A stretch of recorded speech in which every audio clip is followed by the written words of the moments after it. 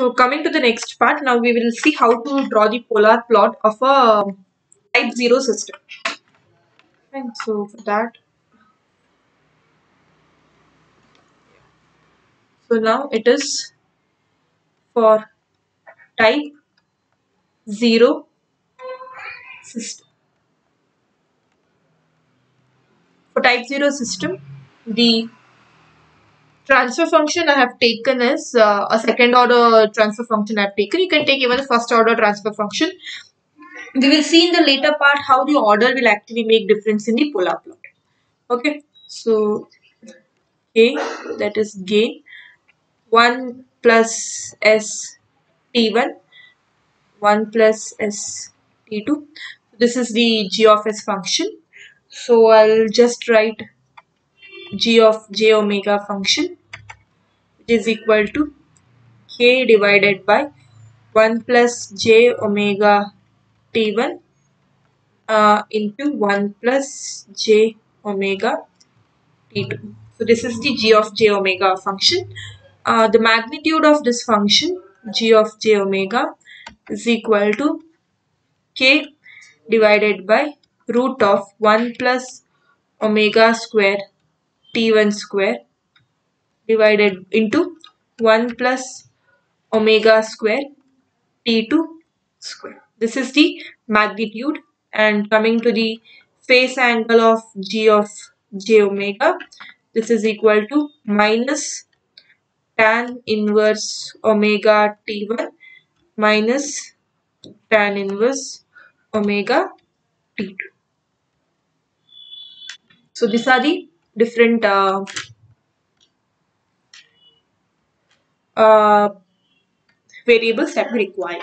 So before we uh, proceed with the further one, we will simply now we have to differentiate. We have this is optional actually. You can do it or you cannot do it. That is not uh, uh, very much needed uh, for uh, plotting the polar curve, but only to understand how it uh, changes like how the uh, real part changes, imaginary part changes. I want to separate from the g of j omega. I need to find out real part of g of j omega and imaginary part of g of j omega.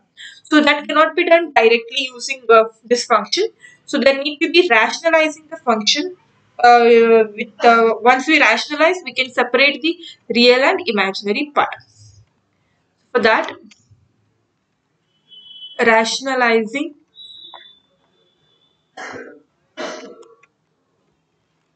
g of j omega. So g of j omega is equal to k 1 plus j omega t1 1 plus j omega t2 into so 1 minus j omega t1 1 minus j omega t2 divided by 1 minus j omega t1 into 1 minus j omega t2. So this is equal to k 1 minus j omega t1 1 minus j omega t2 whole divided by so your numerator will become uh, see this into this it is a plus j a plus b into a minus b which is equal to a square minus b square. So when you apply that a square minus b square form you will get 1 plus omega square t square into 1 plus omega square t1 square and uh, t2 square. Now I'll just expand the numerator. So what I get is after expanding the numerator 1 uh, k into 1 minus uh,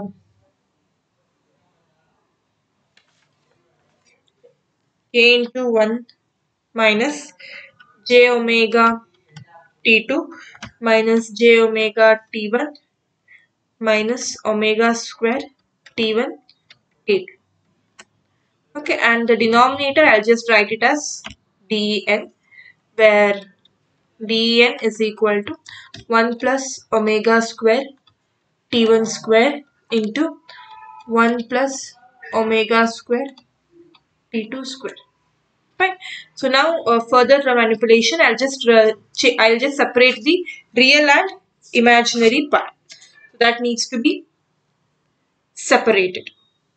Okay. So with that, my real part is real part of g of j omega is equal to k into 1 minus omega square p1 p2 divided by denominator. Denominator term is 1 plus omega square t1 square into 1 plus omega square t2 square. Coming to the imaginary part of g of j omega, this is equal to k into minus uh, sorry it is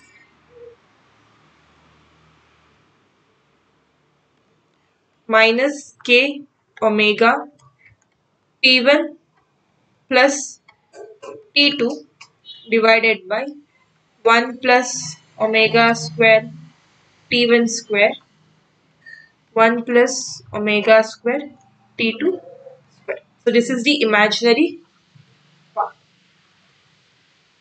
Okay, so now we have separated the real and imaginary part from the g of j omega. So now we will just tabulate it as we've seen earlier. So omega tends to 0. We'll not, now we will not go for the cutoff frequency because it, we have two cutoff frequencies. So let us not to go let us not go for the cutoff frequency omega equal to 0 and omega equal to infinity. What is the real part of g of j omega?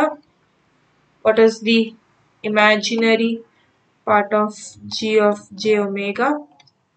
Then magnitude of g of j omega, angle of g of j omega.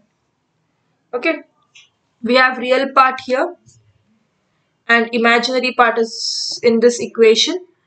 Uh, sorry, uh, the magnitude is from this equation and uh, the angle is from this equation. Real part equation is from this and imaginary part equation is from this. The one thing you all need to consider, uh, need to see here that the T1, T2 value will always be greater than 0. T1 and T2 value will always be greater than 0. That is the first uh, assumption we make. So based on that assumption, when T1 and T2 is greater than 0, this term coming to the imaginary part, your imaginary part will always be, so this part, only this part will always be positive. You can see there is no negative term at all here. This part will always be negative. So your overall, the imaginary part, um, no matter what your omega frequency is, imaginary part of g of j omega will always be negative. This part is always positive. So obviously the overall part will be always negative. Okay. So imaginary part will always be negative irrespective of omega value. Irrespective of omega value.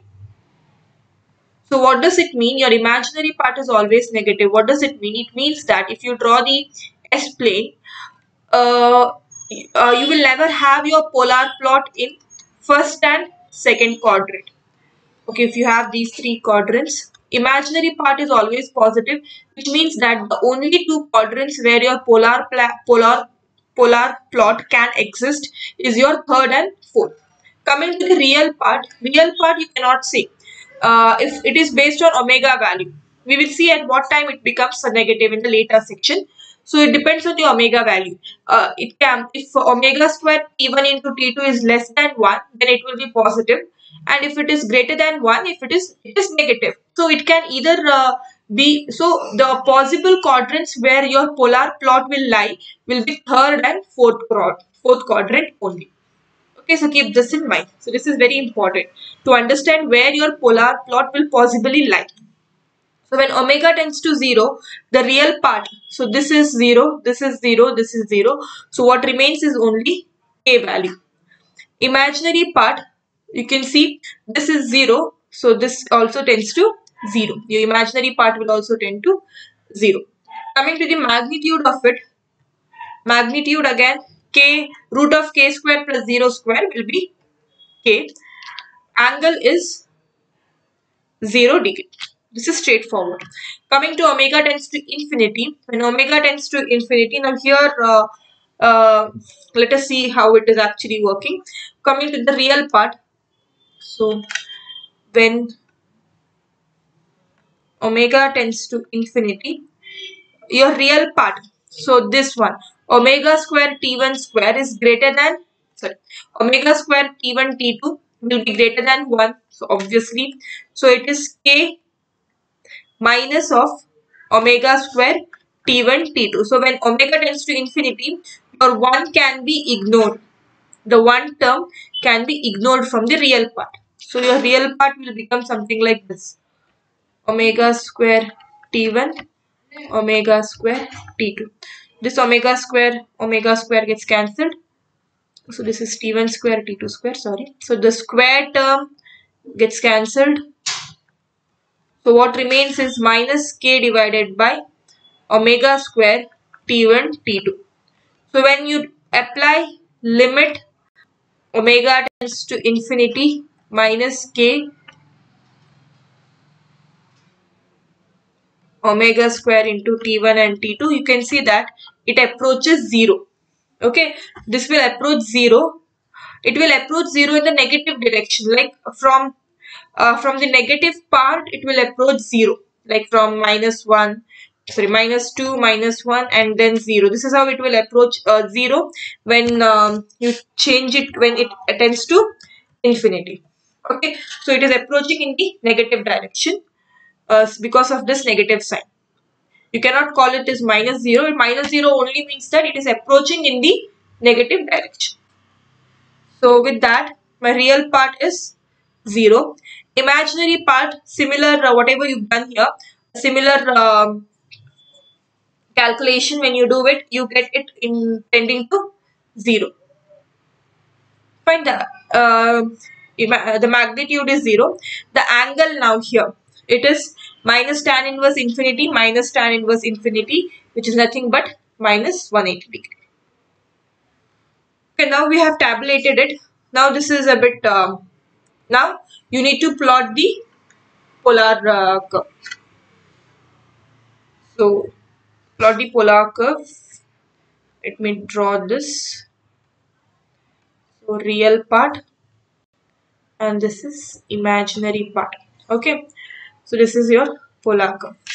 Initially at uh, omega is equal to 0 the point is k 0 this point is k comma 0 so here somewhere i'll take it as k. Okay let me not uh, take the cross mark okay? So somewhere here it is k. This is when omega tends to 0 and you can see it is at angle 0 degree. So normally uh, keep this in mind. Whenever we are drawing this is 0 degree. This is plus 90 degree plus 180 degree plus 270 degree. And in the other way 0 degree minus 90 degree, minus 180 degree line and minus 270 degree line. Okay, so always remember this concept. Fine. So now omega is equal to 0, so 0 degree. So here, now when omega tends to infinity, it is 0, 0. This will come here. Fine. Now it cannot simply move like this no, it cannot simply move like this. Your imaginary part is actually changing. Between the intermediate values, the imaginary part is actually changing. Okay, and at this point, when it when your polar plot reaches this curve, it should make minus 180 degree with the line. So small, so this C. Now a small arc has to be drawn exactly at this point. So you can see that at this point it is making minus 180 degree with the line. And I have told you the imaginary part will always be negative. Okay. So only the real part will remain positive. Uh, it can remain positive or negative. but imaginary part will always be negative so it cannot go like this the curve cannot go like this because it cannot go in first and second quadrant. It has to go in third and fourth quadrant. So this is how the polar plot is drawn.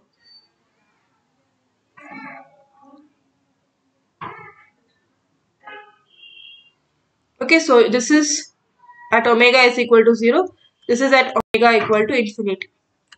So it is moving in this direction so initially your both omega real and imaginary part will be 0 after that your real part becomes positive. I've told you when omega uh, coming to your real part here when this part uh, when your omega square when your omega square t1 square, t1 into t2 is greater than 1 then it will become a negative. So it has to reach here. So this is point a we need to see at what point a what is point a? So at point a your real part is actually 0 so to get the point a we equate to get point a. We equate real part to 0 okay so this has to be done so your real part is 1 minus omega square t1 t2 into k divided by 1 plus omega square t1 square 1 plus omega square t2 square. This is equal to 0 so what you get is k equal to k omega square t1 t2 k k gets cancelled so your omega is equal to 1 divided by root of t1 and t2 this is not a point. This is the frequency at which your point a will come. So here at this point the frequency will be equal to 1 divided by root of t1 t2 now you need to find out what is this point a then substitute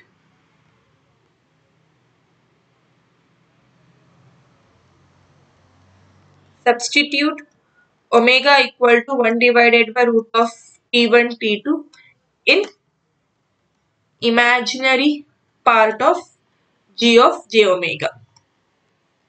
Fine, so when you substitute it, my imaginary part is minus k into omega 1 divided by root of t1 t2 into t1 plus t2 whole divided by 1 plus omega square 1 divided by t1 t2 into t1 1 plus omega square 1 divided by t1 t2 into t2 so t1 t1 gets cancelled. T2 t2 gets cancelled. So minus k t1 plus t2 divided by root of t1 t2 whole divided by it is t1 sorry this is square here. So only the square term gets cancelled.